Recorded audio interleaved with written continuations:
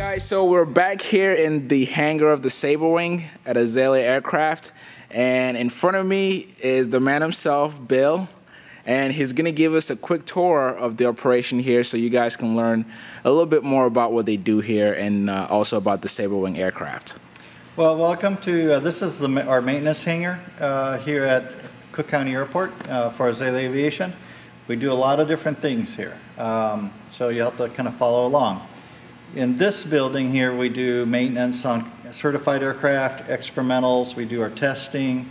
Um, Offices over here to the, uh, on this side of the, uh, of the building have a flight simulator, a flight instructor, so we can do some transition training. It's part of a flight school from Middle Georgia that Wow. helps us, and they do their own thing as well. Um, Today, or right now, what we're working on, of course, we're doing some testing on our turbo engine and prop on our Saberwing. But then we're also putting a, a Spider engine, 120 horse, into this Zenith Cruzer. Are So it's getting our firewall forward, plus we're doing all the transition training and test flying of the airplane. Um, Then there's also a dynamometer where we do all our engine run-ups and testing. So when we build an engine, we test run it on that. Because our interest is, isn't only just our Saberwing products, it's the pilot. We Right. want a, a qualified pilot. And so sometimes that means getting them up to speed. Gee, thank you. So we will uh, go next door real quick to the big hangar and we'll show you what goes on there. Okay, awesome. All right. I just follow you. All right.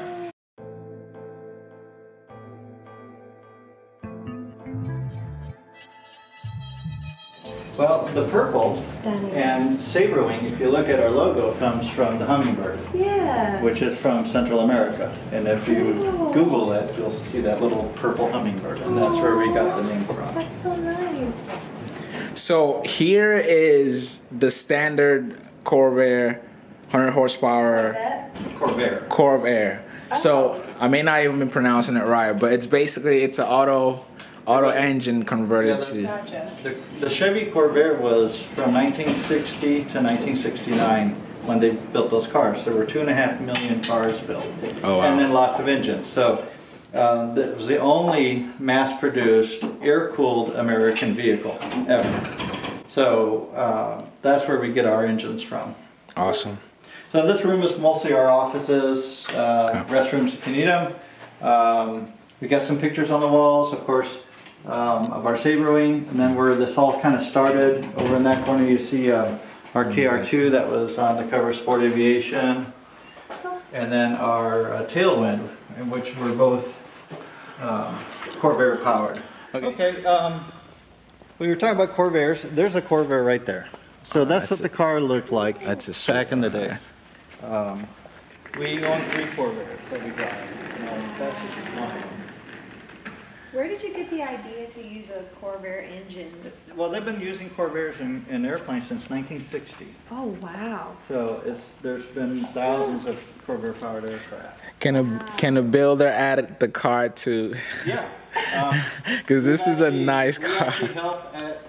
Help at getting cars for people who. have- Are you want to fly serious? well, Yes. How how much more would would, would, would it be with the You car? can get a car for about 10 grand. Oh, No way. this is a beautiful Hey classic. babe, sell your Mercedes. Uh, I think we need a garage for that.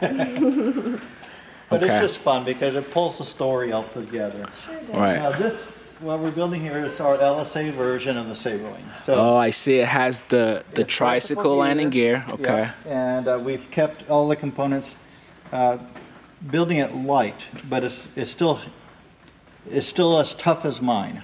Oh yeah. But we're not adding big wing tanks, we're adding just a smaller wing tank. Got to we have some range. limitations. Okay. This one's only 100 horsepower.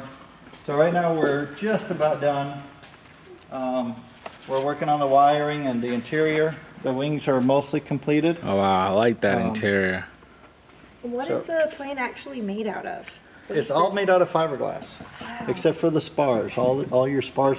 And here, I'll just show you. It comes right off right now. Wow. So that's what the inside structure looks like. Let's get a closer look there. So you got your gear attached, and then your walkway area where it's reinforced, flap controls, uh, landing lights, ventilation systems, all right there. Awesome. And then um, as soon as we're, we're done, we think we're done, then this will get glued on. But this is where the typical piece comes. It comes pre-molded like that from us, and it all just And the, fits like uh, like your model airplane. Right, and the the beautiful thing is, you know, a builder gets eye hands on on all of this. You know, they know how their airplane is built. I do notice that I could be wrong, but these seats seem a little higher up, or it's just me, or maybe because it's the the, The, the, the, tricycle. the tricycle's sitting up higher than, Right. on, our, than on ours. okay, okay, Um, that's my gear on mine is just shorter because um, I wanted it that way.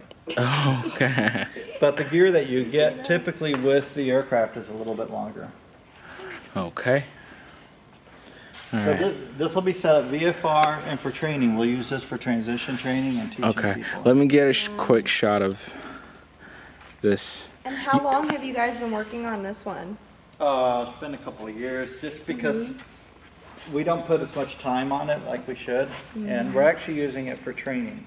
Yeah. Uh, we have two of our employees that they've built the majority of it and I'm working them through so they're learning it. Um, Awesome. The reason is that we've got a customer, this building is going to turn into a customer build assist center. Nice. So not only do we want to help people build airplanes, but I have to teach my crew to know how to help. Right. So they're using this as their stepping stone to the learning. Right. Our first customer build comes next week. Okay. Now, o- over here, um, you can see a lot of the parts that we've been building. So um, some of the kit parts are up on the shelves, cowlings, canopies, um, rudder skins, elevator skins. So um, as an example, like here's one of your elevator skins. Comes all pre-made. They're all vacuum infused, which is a whole interesting process. Okay. But we have molds for all that. On Ne- our, on our engines, we use um, plenums for cooling, and we can make them out of carbon. That's made out of a one mold. We can make that. That's Um, awesome. So that's been a lot of our time and effort has been into being Okay. able to mold all the pieces and parts. Now, for a typical builder or someone who's already, you know, they've built their airplane, it's flying already. Uh, you know, when they need to do maintenance or parts or whatever, they just come directly. Yeah, they can come to See. us, but nice thing on the Corvair is a lot of those parts you can get from Napa, AutoZone, a Oh, bunch wow. of different places. So you're not totally dependent on me. That that's the beautiful thing about experimental. You don't you don't have to go directly the- to one company. is- Like you can buy all your pistons and cylinders brand new for our engine for about twelve hundred dollars, Wow. whereas that's like one cylinder for a, O- a Continental. So That's awesome. I can't see upstairs, but upstairs we've got three fuselage boats and all that. We're just starting.